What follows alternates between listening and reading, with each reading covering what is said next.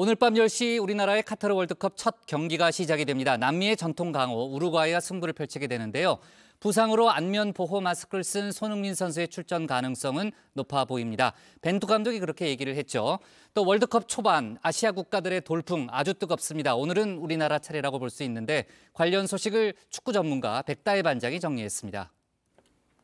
네, 안녕하세요. 다정한 소통반장 백다입니다. 네, 오늘도 정치권에서 화제가 된 소식을 정치인 해시태그로 정리해서 소개해 드릴 텐데요.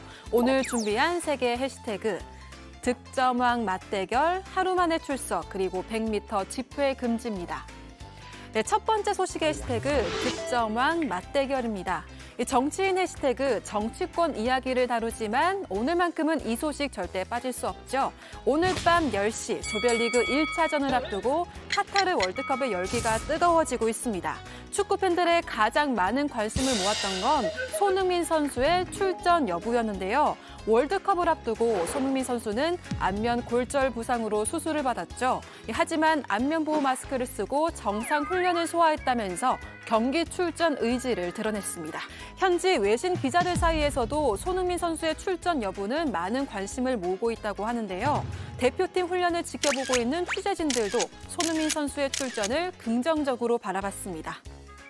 헤딩 훈련도 좀 시작을 했고 좀 고무적인 것은 제가 며칠 전에 튀니지 경기를 중계를 했는데 그때 손흥민 선수와 거의 비슷한 시기에 이제 광대뼈 골절을 당했던 스키리라는 좀 유명한 선수가 있는데 네. 그 선수가 풀타임을 소화를 했어요 마스크를 쓰고 손흥민 선수가 의지가 워낙 지금 강한 상황이기 때문에 음. 그런 것들을 봤을 때는 또 이제 손흥민 출전 가능하다고 벤투 감독이 또 이야기를 했기 때문에 네. 조금 긍정적으로 바라보고 싶습니다. 손흥민 선수 지난 시즌 영국 프리미어리그에서 23골을 기록하며 아시아 선수 최초로 득점왕에 올랐죠. 우루과이의 베테랑 공격수 루이스 수아레스 선수도 2013-2014 시즌에서 31골로 득점왕에 오른 바 있습니다. 또 수아레스 선수만큼이나 뛰어난 기량을 갖춘 선수들도 포진하고 있는데요.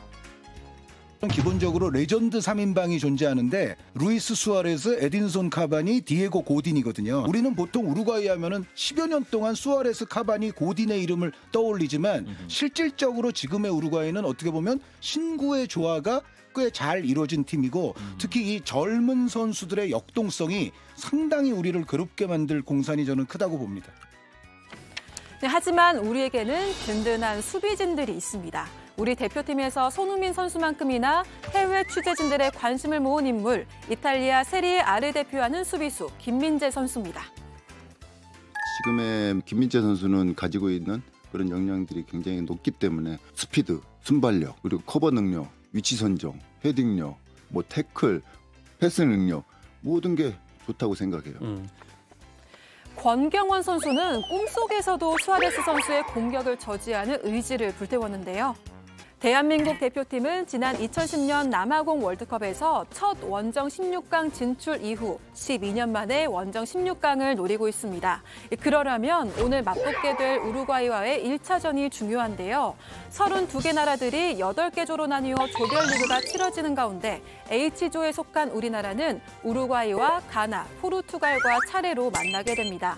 조별리그의 1, 2위 팀이 16강에 오르게 되는데요. 지난 1998년부터 2018년 러시아 월드컵까지 1차전에서 승리한 팀 중 약 84%가 16강에 진출했다고 합니다. 물론 이건 확률에 불과합니다. 1차전에서 승리한다면 16강 진출 가능성을 높이고 또 남은 경기에서 부담감을 덜고 뛸 수 있기 때문에 선수들도 그 중요성을 알고 준비에 박차를 가하는 모습입니다. 우루과이는 남미의 전통 강호로 알려져 있죠. 한국은 그동안 우루과이를 8번 만나서 1승 1무 6패를 기록하면서 열세를 보였습니다. 피파 랭킹은 우리나라가 28위, 우루과이는 14위를 차지하고 있는데요. 우리나라는 그동안 월드컵 본선에서 남미팀을 만났을 때 한 번도 승리를 거두지 못해서 아쉬움을 남겼습니다. 하지만 우리 대표팀이 최근 2018년 10월에 있었던 평가전에서 우루과이에게 첫 승리를 거둔 만큼 이번 경기에서 또 한 번의 승리를 가져올지 기대가 모이고 있습니다. 한편 우루과이는 유독 월드컵 1차전에서 약한 모습을 보여왔는데요. 지난 7차례 월드컵 1차전에서 우루과이가 가져온 승리는 단 한 번뿐인 반면 한국의 1차전 전적은 3승 2무 2패.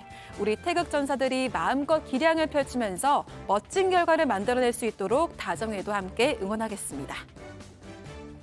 우루과이에 좋은 선수가 많기는 하지만 우리도 그렇게까지 나쁜 경기를 치를 것 같지는 않고 분명 우리에게도 찬스가 있을 텐데 아주 미세한 순간에 결국은 결정력 싸움 그리고 누가 실책을 하느냐 안 하느냐 그리고 누가 90분 동안 인내력과 집중력을 일관적으로 잘 유지할 수 있느냐의 싸움이 될 것이라고 봅니다.